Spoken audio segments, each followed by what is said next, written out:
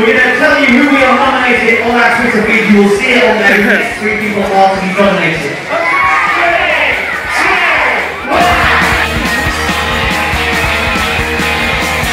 The pleasure is to blame.